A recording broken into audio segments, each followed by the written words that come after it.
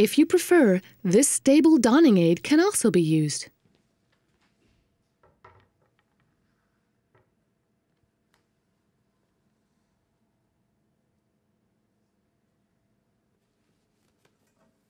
Pull the compression stocking over the frame until the heel section is visible.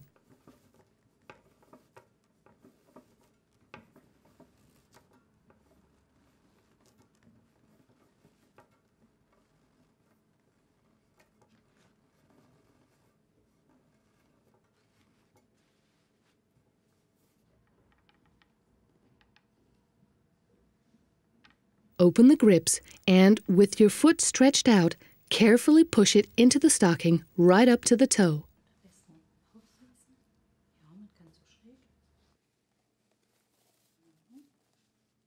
Pull the donning aid upward to knee height.